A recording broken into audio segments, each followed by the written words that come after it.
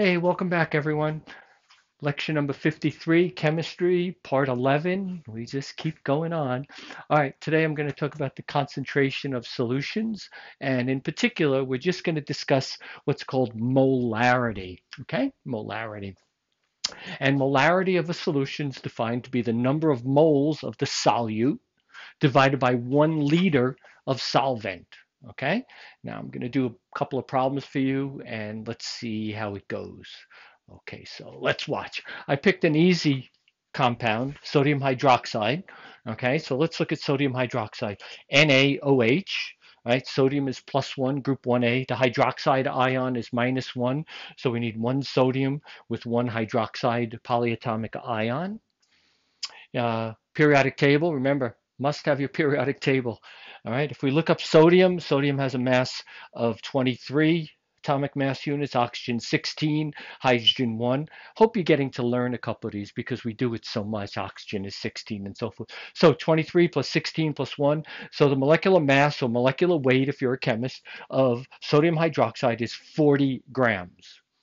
Okay, Easy enough. We should be experts on this by now. All right, let's go. Now, a one molar NaOH solution. What does one molar NaOH solution mean? Well, one molar means you put one mole of NaOH, which is 40 grams. We just calculate 40 grams in one liter.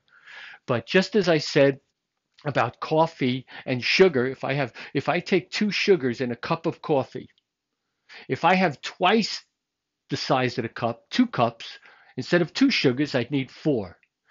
If I had half a cup, I'd need one sugar to keep the same concentration. Same idea. If there's 40 grams in one liter, that would be the same as 80 grams in two liters. Or 20 grams in half a liter, just divide in a half. Or 200 grams in 5 liters. If I multiply 40 times 5, I get 200 grams, but then I'd have it in 5 liters. That would be the same concentration, a 1m, 1 molar concentration. That would still be 1 mole in one liter. They're all equivalent to one mole in one liter. Suppose I wanted a 0.5 molar solution of sodium hydroxide. 0.5 molar, 0.5, you take 0.5 times 40. Half of 40 is 20. What if I wanted a 0.3 M solution? Well, take 0.3 times 40. You get 12. What if I wanted a 5M, five times the concentration? Well, you take 5 times 40 is 200 grams in one liter. Notice in one liter. So the concentration is five times as much because you're putting five times 5 moles of sodium hydroxide in one liter. Okay, simple, simple, simple idea. All right, so let's do another one how many grams of calcium carbonate, again, I picked an easy compound, are needed to make 0.4 liters of a 0.6 molar concentration solution.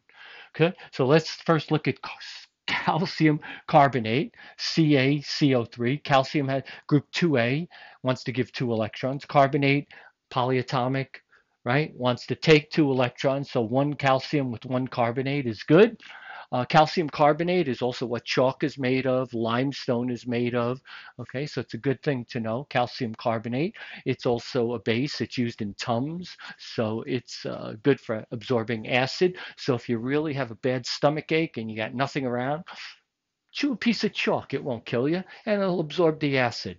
All right. All right, so let's see. Let's get the molecular mass or molecular weight of one mole of carbon, uh, uh, uh, calcium carbonate. So calcium, again, if we look up, is 40. Carbon, we hopefully we know is 12. Oxygen is 16, but we have three of them.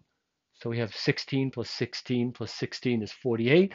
So 40 plus 48 plus, uh, uh, plus 12 plus 48, 12 plus 48 is what?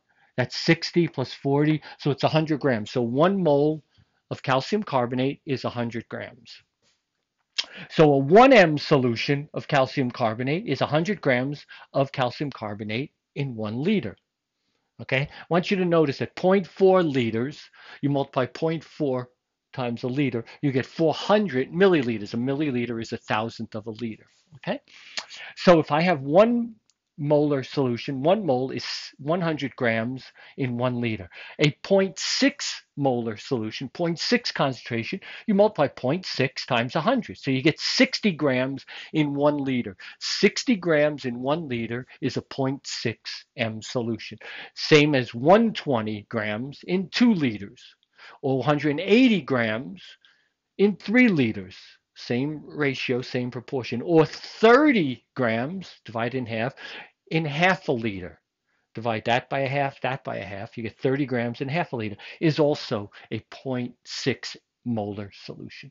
All right, so we have 0.6 m solution of calcium carbonate is 60 grams in one liter, but I don't want one liter. I want 400 milliliters, 0.4 liters, okay? So we have to just multiply this number by 0.4. So 60 grams times 0.4, and again, you could divide, multiply and divide by one. So 0.4 over 0.4 is one. We're keeping the concentration the same. So it's still a 0.6 concentration. So if we multiply 0.6 times that, multiply 0.6 times 1 liter, 0.6, uh, 0.4 times 60, excuse me, is 24 grams. 0.4 times 1 liter is the 400 milliliters. Oops, ml, okay? Milliliters. So the answer then is 24 grams of calcium carbonate in 400 milliliters of solute of solvent gives us a 0.6 m solution and 400 milliliters of it. So it would require 24 grams. All right, one quick quick finishing problem. Let's see if we can do this. How many grams of potassium hydroxide are needed to make 200 milliliters of a 0.8 m solution? Okay, so let's go. Potassium hydroxide. Potassium is group one. Hydroxide is OH minus one. Okay, so we have K is plus one, OH is minus one. So we need one potassium with one hydroxide polyatomic. Again, periodic table. Potassium is 39, oxygen 16, hydrogen 1. Add those together. I think we get 56 grams. So 56 grams of potassium hydroxide is one mole. All right. All right. So what about a 0.8 m solution? So if I have, sorry, 56 grams in one liter, that's a 1 m solution. So if I want a 0.8 m solution, you multiply 0.8 times 56, and that gives us 44.8 grams in one liter. You see, 44.8 grams. So that is a 0.8 m solution. That's how many grams you need in one liter. But I don't want one liter, do I? I want 200 milliliters. So I need to take this result and multiply by 0.2 in the numerator and denominator.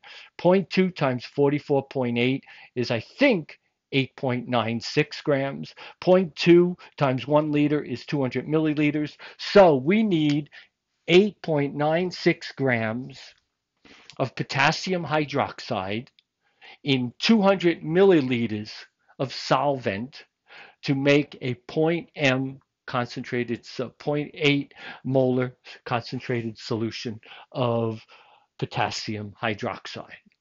Okay, so you find the concentration, you, you find uh, how many grams you need for a 1M solution, and then you multiply uh, appropriately. I just want you to see the shortcut, 200 mLs, 0.8. So when I get the answer for one mole, 56 grams, what I've ended up doing is multiplying by 0.2 and multiplying by 0.8.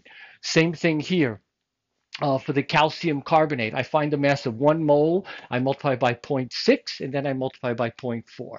So all these problems are exactly the same. So calculating the concentration or how many grams uh, for a certain uh, uh, uh volume, a certain amount of uh, solvent, uh, and for a particular concentration is really easy. What you do is you get the molecular mass of one mole of the solute and then you multiply by whatever the concentration 0.6 or 6m or whatever it is and then how many milliliters or how many liters I want multiply by that Okay, so these are liquid solutions, and that's pretty much where we want to go with that. Not too much in detail, okay? So that's good enough for now.